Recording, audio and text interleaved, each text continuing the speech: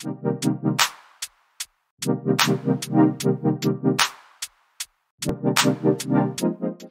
going on, everybody, and welcome to another episode of the Other Side of the Firewall podcast, where we talk about the latest and greatest in cybersecurity news, as well as we highlight those movers and shakers and glass ceiling breakers, those people of color who made it to the other side of the proverbial firewall. My name is Ryan Williams, and as always, I'm joined by Shannon Tynes. What's up? What's up? And Levon Maynard. What up? Welcome to the show.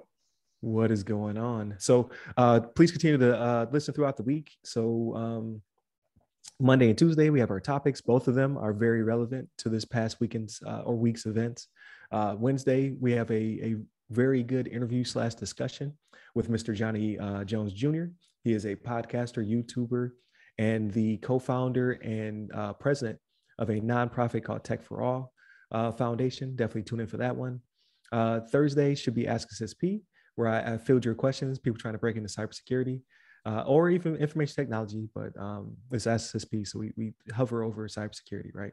Um, and then on Friday, we talk about everything else. So we, we try to uh, avoid the cyber talk and talk about the media and all that good stuff that we consumed. Uh, but there's always some cyber in there uh, uh of some sort.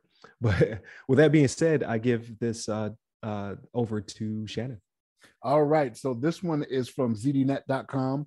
Um, it's written by Jonathan Greig. I hope I'm saying your name right, Jonathan, G R E I G. I'm guessing, but Greig. but uh, um, title of the article Colorado Energy Company loses 25 years of data after cyber attack while still rebuilding network. And they actually have a sub they have a subtitle here. It says DMEA did not use the term ransomware, but said much of their data had been corrupted while phone and email services were down for weeks. And I think the importance of that is that um, what ended up happening, right? So this uh, Delta Montrose Electric uh, Association, DMEA, um, so they actually got hit with an attack a month ago. This was November 7th. This actually hit them, right? Um, and they're still struggling to recover a month later, right? Um, so what ended up happening was this cyber attack they had, it took down 90% of their internal systems, caused 25 years of historical data to be lost. Now, they reassured us, okay, they reassured their customers that none of the sensitive data was lost, right? social security numbers, names, uh, credit card numbers for payments and things like that. But um, they did lose access to be able to uh, to uh, do payments online uh, and things of that nature, right? So they actually just recently um, they have a timeline here um, of how everything happened. So November seventh was when they got the cyber attack, right? And again, they're not trying to call it ransomware, right? Because nobody has demanded anything of them, right? Um, uh, but November 7th, they got hit. Um, they actually had an investigation that was completed on November 15th, right? Um, which they, they assured their customers they're highly confident, is what they said. No sensitive member employee information has been compromised, right? Um, they had to t- set up a temporary phone system. This is just wreaking havoc on their customers, right? Now, where this where this falls into I, I, don't know. I, I don't want to say more serious territory for me, right? So like this is in Colorado, and we're coming up on the winter months, right? Like I, I live in Colorado, so we're coming up on the on the winter months, and um, what you run into is that um, you have some of these companies that uh, they're all about that dollar, right? I'm not saying that's the case with these guys, but they've assured their their uh, their customers that they're not going to take any action on them because of this until January 31st. So they're going to they're going to have issues trying to get people to make their payments and do everything that they need to do right because of this because they lost 25 years worth of stuff and uh, they were having problems getting their payment system up. But they're saying they're not uh, they're going to do uh, they're not going to have anything they're not going to suspend any services or anything like that till january 31st um, but this is one of those things where if you are if you are a utility company right now like you should definitely be on the lookout right from everything that we've seen there's no way you can't think that you're not a target these days, right? Um, look at what everybody is going after. Let me not say everybody's going after, but look at what's what's been hit, right? You got your water treatment facilities, you got a gas pipeline, you got uh, you got electric company, right? Companies now. Um, so these companies like this, I don't know what happened here. I'm not going to sit here and assume you know they weren't doing what they needed to do. I mean these guys are getting smart these guys and gals are getting smarter when it comes to uh, doing these attacks out there but um, you've definitely got to be on the lookout. You've got definitely got to be on the lookout for this stuff because you are definitely a target in this day and age you know what i'm saying? But levon what you got on this man?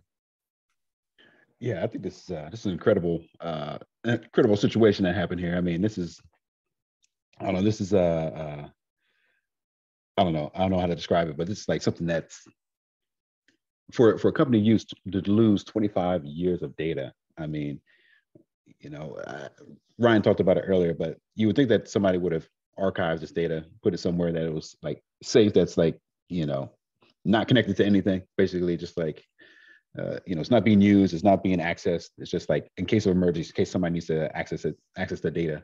Um, so like to, to to have that data be accessible and to be lost uh, in a seemingly easy manner. We don't know all the details as far as how they lost it, but uh, for that to happen, it's like I feel like obviously somebody may may have made a mistake somewhere to allow that data to be accessible and not to have it archived, or maybe somebody just didn't uh, uh, put together like a disaster recovery plan that was fleshed out to be able to, you know, think of these situations where, hey, what if our server that has 25 years of data gets uh, compromised?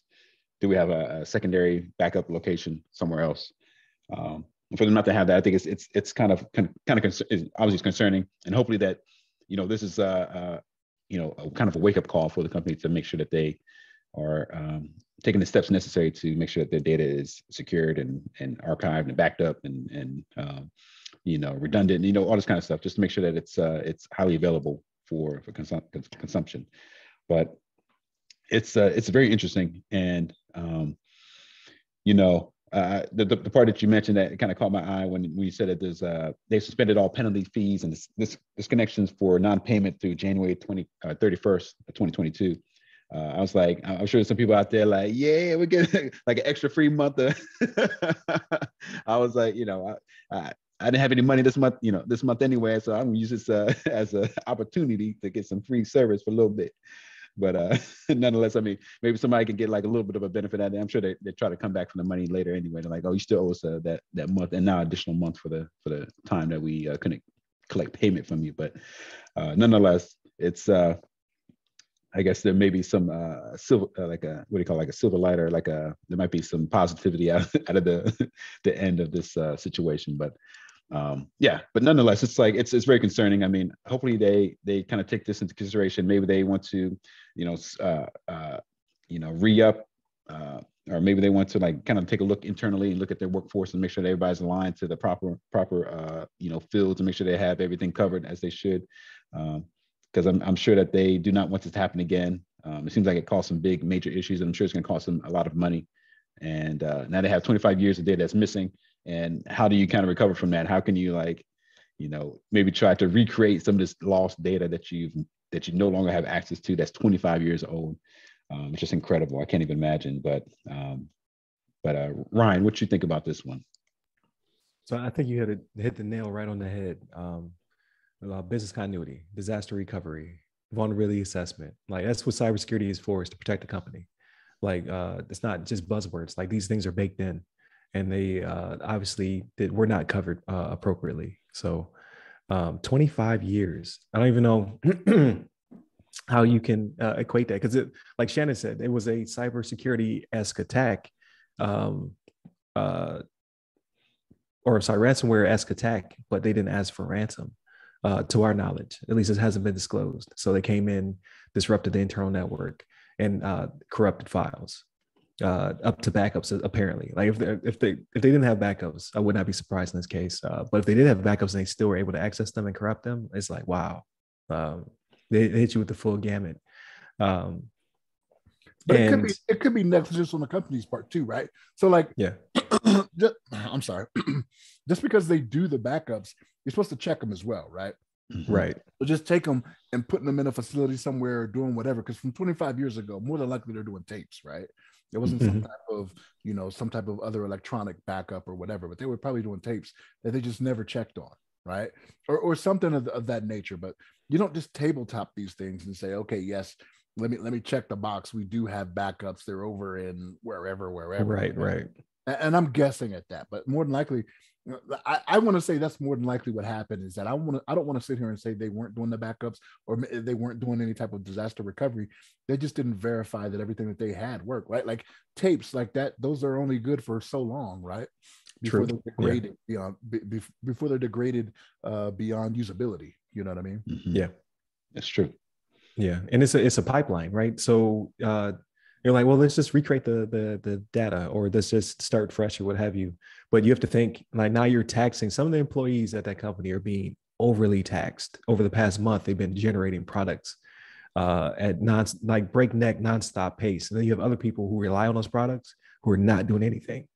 so you're losing productivity. Like you're spending money on on things that you're not using. So and these other people are getting burnt out. So it's it's a a, a domino effect uh, across the board. That's why cybersecurity is so important to business. Like you have to invest the money and time, or your business will suffer nowadays because people aren't, aren't kicking in doors and stealing servers anymore, or they may be doing that too.